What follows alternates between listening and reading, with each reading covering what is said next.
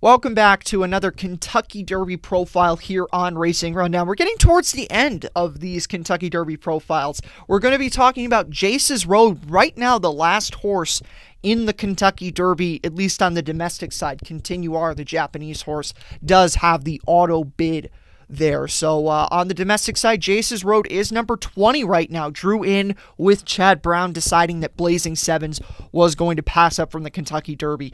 Uh, Jace's Road, winner of the Gun Runner Stakes at the fairgrounds for one of his two wins. He's been very feast or famine, though uh, as a racehorse. But we will talk about some of the nuances from the races that he has had. So he broke his maiden. We'll start off with when he broke his maiden. Uh, he broke his maiden at Ellis on August 6th. And actually, I do need to back up for just a moment. There is a playlist. I have been doing this at the start of every video, but I'll do it again. There's a playlist down in the description to all the other Kentucky Derby profiles that we have had on Racing Rundown. So be sure to check that out to catch our other profiles. Now, back to Jace's road. He broke his maiden at Ellis on August 6th. Uh, then he jumped right into Stakes Company from there, ran in the Iroquois at Churchill Downs, and he was stakes placed there. But uh, and he was stakes placed in, in a race that had a couple of really well backed horses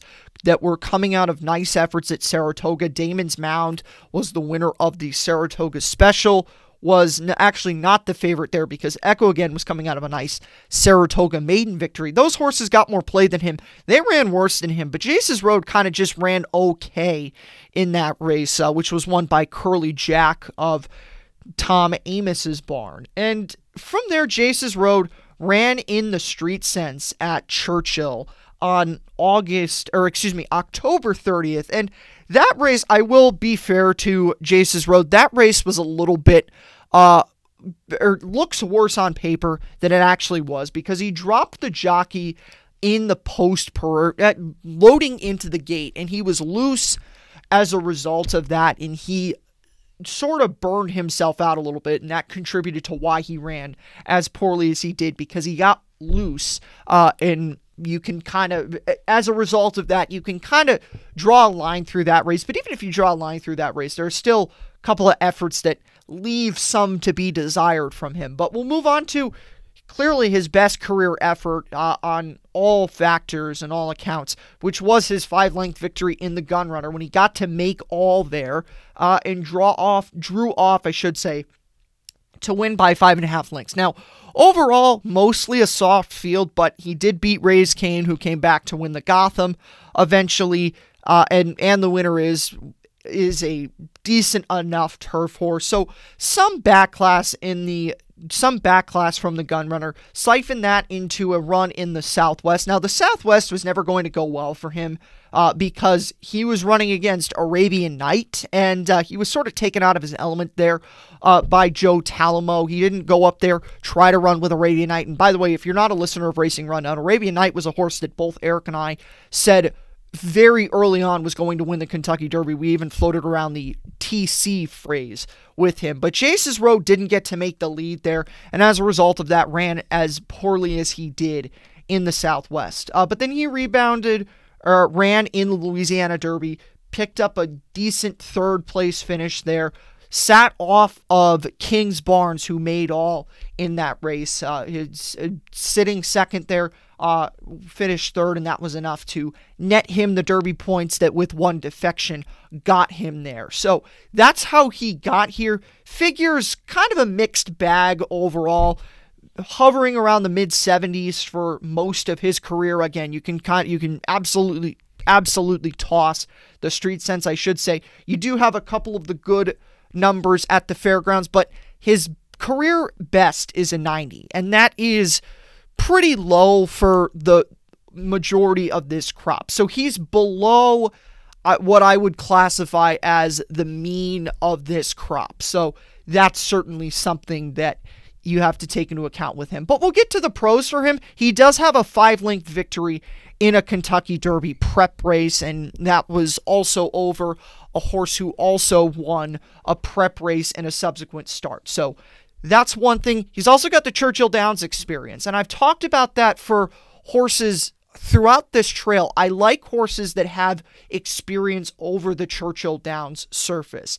Now, the street sense, he didn't really get much out of that, but he did place in the Iroquois, and that's an early spot to jump up to a mile and a 16th. And he jumped right from six furlongs, uh, where he broke his maiden at Ellis into the mile and a 16th there. So, and that's kind of a, a race, the Iroquois. Usually it's a sinker float for those kind of horses. And you, we've seen horses run in the Iroquois not really get the trip there, uh, but eventually as they go forward, they settle into it more. So certainly an early start, an early opportunity to run at the mile and a 16th at the two turn trip, but I, I can say that in his first start, he ran okay there.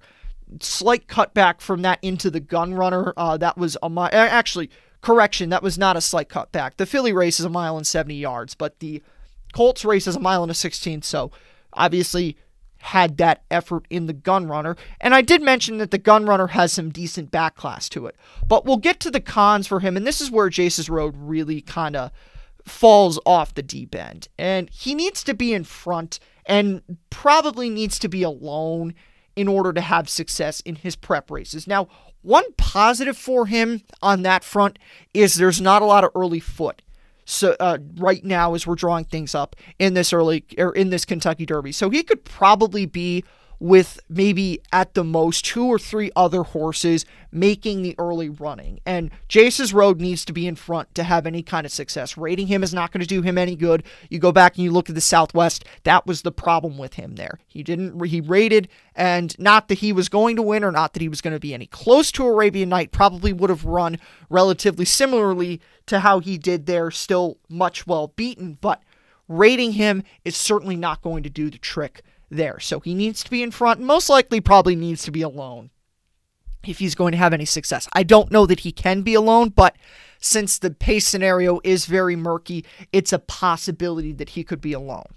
But he faded in the stretch of the Louisiana Derby. And one of the things about the Louisiana Derby, which is why I like it so much as a prep, is it gets horses the opportunity to move up and trip right before the Kentucky Derby, not just to the mile and an eighth. And Jace's Road was kind of backing up toward the end of the Louisiana Derby after there was a very soft pace that was set. Now, maybe you credit that to Disarm, who was the only horse who closed into that race, but you look at the horses underneath Jace's Road there, shop or you look at the horse specifically underneath Jace's Road there, Shopper's Revenge. And outside of Disarm, it was a merry-go-round for those one, two, three horses. The horses that were one, two, three throughout the entirety of the early running were first, third, and fourth there. And those were Jace's Road, or excuse me, Kingsbarns, Jace's Road, and Shopper's Revenge in the correct order there. So that's something to think about is the move up in trip, he kind of faded a little bit toward the end. And then the final one is his speed figures are just kind of average when you compare them to the rest of the field. His best effort was a 90 coming in December. He hasn't equaled that since, and I wouldn't really classify the fairgrounds or the uh, Louisiana Derby, I should say, as reaching back up to that level of the 90s. So Jace's Road has to improve on a lot here. I will say one other thing about him. I have gotten flack in the past for insinuating this, but I am going to throw this out there because this is a possibility. Brad Cox and the Albaugh family also have Angel of. And Angel of is a closer. Jace's Road is a pace horse. It's a possibility, and I stress this a possibility, that this horse could potentially rabbit for JR for uh, Angel of there. So that's just another thing to think about if you're considering Jace's Road at all. I don't really know many people that would be because there's a lot of negatives to him, but this horse could potentially also be a rabbit in the Kentucky Derby, which isn't going to bode well for his chances of winning the Kentucky Derby. But uh, a horse that's probably going to be a very easy pass on Kentucky Derby Day for most people. I likely will cross his name. He will likely be one of the first names that I will cross out. With that being said, that's it for this profile. We will see you next time and be sure to check out our other profiles for this 2023 Kentucky Derby. We'll see you next time.